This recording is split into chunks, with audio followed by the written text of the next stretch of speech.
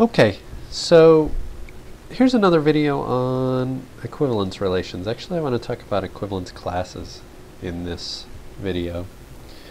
So first of all, uh, recall what an equivalence relation is. So an equivalence relation on a set S is a subset of the product, so subset of S cross S, um, that is reflexive, symmetric, and transitive. So then, uh, given a set S with an equivalence relation on it, um, we define uh, the equivalence class. We use this uh, blackboard bold brackets around X to indicate equivalence class. So the equivalence class of X is equal to all Y's such that X is related to Y. So another way of looking at, it, at that is um, um, that's equal to all y's such that xy is an element of your equivalence relation. So let's do an example. So consider this set S equal to 1, 2, 3, 4, 5. So very simple set. And here's an equivalence relation defined on this set. You should actually check and make sure that it is an equivalence relation. We'll tick off a few of the things. For example, it's reflexive because 1, 1, 2, 2, 3, 3, 4, 4, and 5, 5 are all in there. Right, so x is related to x for all x in S. Um, and then 1, 2, 2, 1, so it's at least got some symmetry. And you can check that it's um, symmetric and transitive. I don't want to go through the whole thing. And now let's think about what the equivalence class of 1 is. So the equivalence class of 1 should be everything that 1 is related to.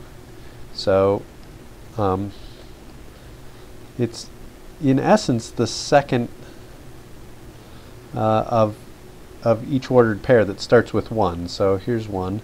1 is related to 1. So 1 is in the equivalence class of 1.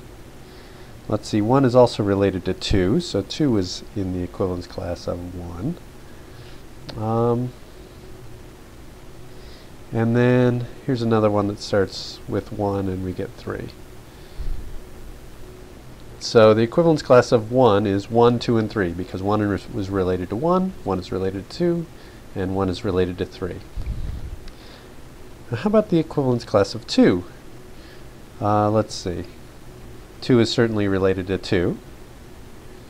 So we have 2 in there. 2 is related to 1. So we have 1 in there. Then 2 also happens to be related to 3. Notice these have the same equivalence class. That might be an important fact. Um, and we can do 3 as well, so 3 is related to 3. 3 is related to 2. And let's see, 3 is related to 1. Again, they have the same set there. Does it always come out the same set? Well, let's look at 4. 4 is related to 4. 4 is not related to anything else. So that set has a single element and it's easy to see that 5 is the same way. A couple observations. Notice that the equivalence class is always going to be some subset of S. I know you're asked to prove that. It's actually fairly obvious just from the definition.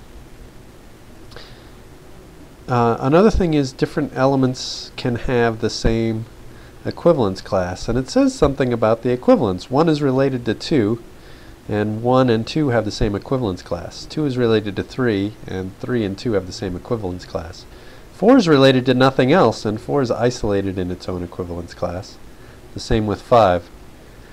Now suppose we added another couple of uh, relations into this set, and we put uh, 4 is related to 5, 5 is related to 4. Um, that actually you can check it's still an equivalence relation, this set. Uh, and then we'd have to add into here 5, we'd have to add into here 4. And you can kind of see right away that if two elements are related to each other, they're going to have the same equivalence class. Now that's a proof and that's a sort of an important fact, but do several examples and you'll be able to see that. Um, and I think that's all I'm going to say about equivalence relations.